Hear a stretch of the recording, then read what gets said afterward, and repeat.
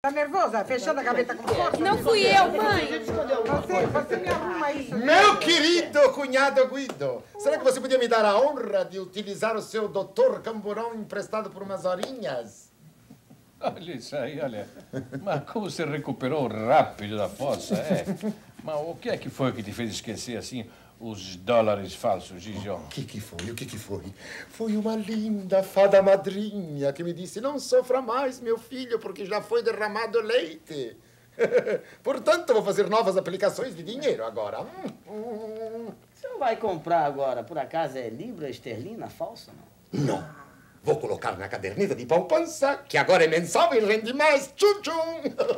Mas onde é que você descobriu essa mina de ouro? Andou estudando aí o mercado financeiro? Ah!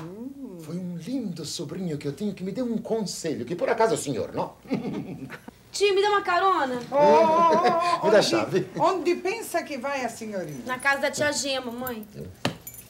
Ah, bom. Ah, bom como? Aí o Franco. O que que deu, Franco? Você tá esquecendo?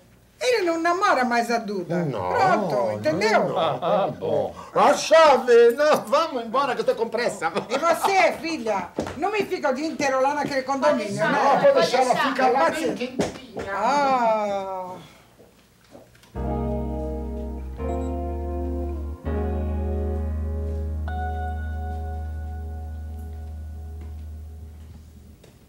Ô, Ciro, diz, onde é que você acha que eu devo enfiar isso aqui, hein? Ah, Bruna, não sei. Decorador é você, não? É, mas você falou tanto dos talentos de decorador da Luísa, de repente agora eu tô insegura, não sei enfiar isso aqui. Ah, foi uma boa ideia que você me deu. Escuta, Bruna, eu preciso falar com a Luísa. Enquanto você arruma isso aqui, eu vou até a sua casa falar com ela. Ah, mas você tá uma gracinha mesmo, né? Eu tô aqui trabalhando desde manhã, tô morta de cansaço, e você agora vai sair pra falar com a Luísa? A gente não tá nem casada, eu já tô de escrava da casa? Nem pensar, mocinho, você vai comigo, achar um lugar, um lugar muito bonitinho pra botar esta peça aqui. Depois a gente vai junto até lá. Que tal? Soró? Ô, Soró, cadê você? Geninho! Geninho! Achei! Cadê tu, Geninho? Tô aqui, ó. Tá, ah, menino!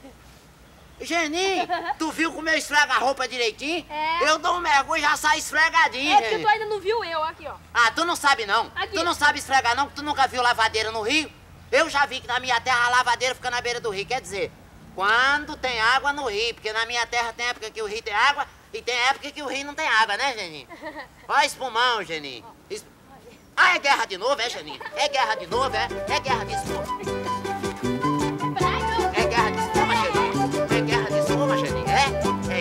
Quer guerra? Então vamos fazer guerra. Então vamos fazer guerra, vai.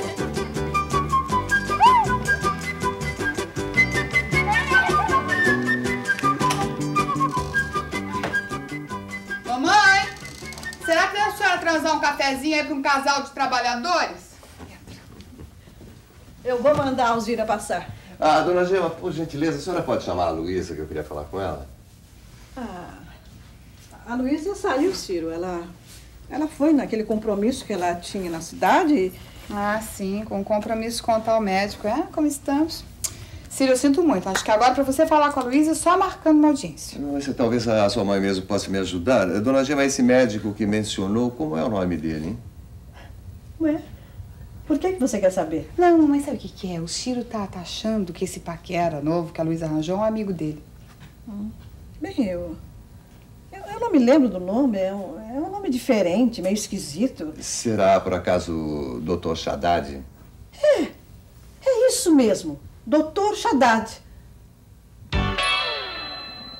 Você conhece esse Dr. Shaddai, Ciro?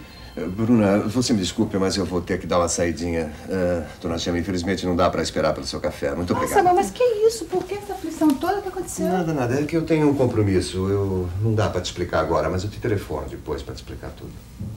Obrigado por tudo.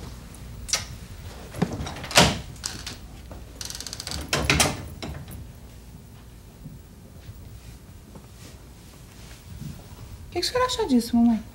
Sei lá. Mas estranha a reação dele depois que eu confirmei o nome de tal médico.